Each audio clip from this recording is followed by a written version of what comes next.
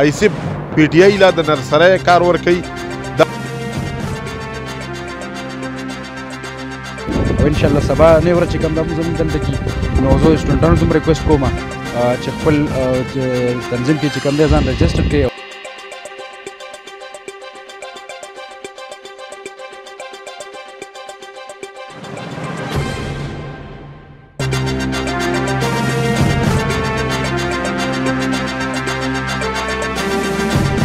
ډیره د خوشحالۍ او د ستاینې ورځ ده چې زموږ یوت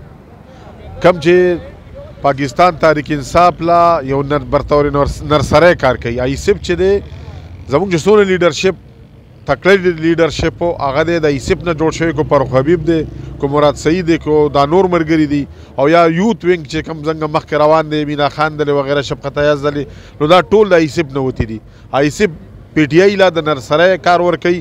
دا زموږ هراول دسته دا او زه د ضلع صدر امجد اقرار او میا صاحب عزیر چې د دې د کالج صدر دی هغه له مبارکباد ورکوم او وی استاین ولډي دا وی کارکردګي چې کم کم لګولې دي په سونو سټوډنټان روان دي د ایسه ممبرشپ اخلي نو دا زموږ د پاره یو بنیادی کار دی او ټول یو الیکټډ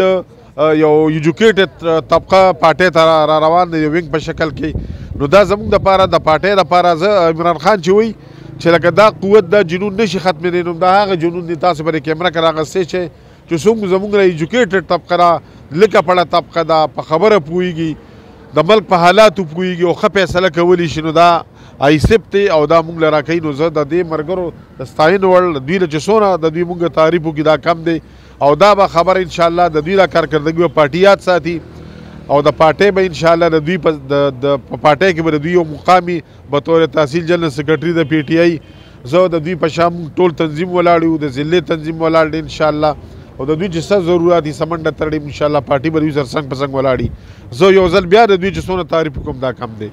امجد خان خاص کر چې د ضلع صدر راغلی نو ایسب کې یو دوباره روح چولې دی او دا خبره بیا تیزه شوې کم وخت چې محمد زاده او دغه د مرګرو په وخت کې د ایسب هغه وخت بیا ان شاء الله په ملکند کې د امجد اقرار سره راغلی زه د دوی چې څومره زه شکریا ادا کوم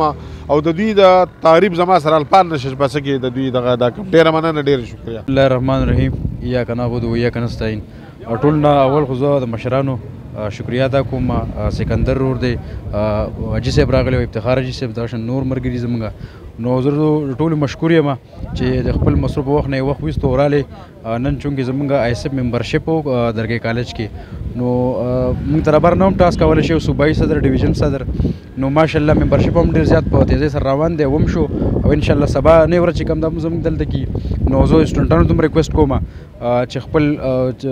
تنظیم کې چې کم دی ځان رجسټر کړي او خان صاحب چې کم ټاسک متاول کړ د لانګ مارش مخ کې مخ کې نو ان شاء الله بیا ټول منګه په جمع سره په اتفاق سره بزو ان شاء الله او کوم چې خان صاحب موږ ته کم ټاسک حواله کوي هغه ارزه پوری تګي هر څومره دغه ان شاء الله به موږ کو مهرباني څنګه چې تاسو ته پته ده د آیسپ چې کوم زموږ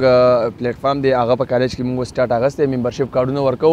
زموږ چې څومره مرګري دي د بي ایس سي پری میډیکل دي انجینیرینګ والی هغوی ټول ته موږ دا میسج پار ورکو چې تاسو راشي او زموږ سره په دې کې مطلب حصہ والي او دا مخکې چې هانسپ دا کم میسج دی ان شاء الله دا به موږ د یوت په ذریعہ باندې مخکې بوزو بسم الله الرحمن الرحیم زه عباس باچا درګې کالج سابقه صدر او موجوده ډیسټریکټ ملکند سینیئر وایس پریزیډنټ تاسو مخاطب یم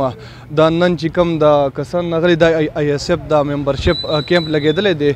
نو پهلا ټول ناول خو زه د ټولو مشران ته او دغه کیمرامین ته او ټول ته شکریه ادا کوم چې تاسو مونږ لا رالی زمونږ د اواز هم دغه کوچوت کو